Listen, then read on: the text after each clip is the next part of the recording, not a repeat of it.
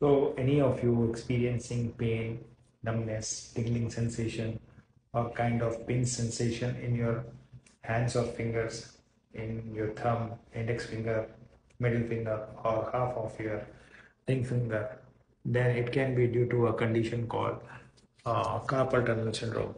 Okay, now what is carpal tunnel syndrome? It is a condition. It is related to uh, the nerve called median nerve okay so whenever there is a compression of median nerve in the carpal tunnel so the patient may experience these symptoms. So what is carpal tunnel? Carpal tunnel is a narrow passageway present in our wrist which is surrounded by bones and ligaments okay?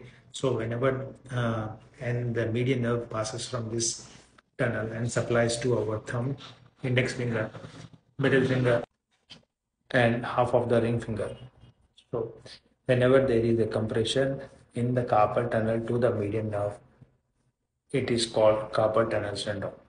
So the treatment for this carpal tunnel syndrome is the best treatment for this condition is physiotherapy. Though it is a time taking process, but it will be very helpful in the long run.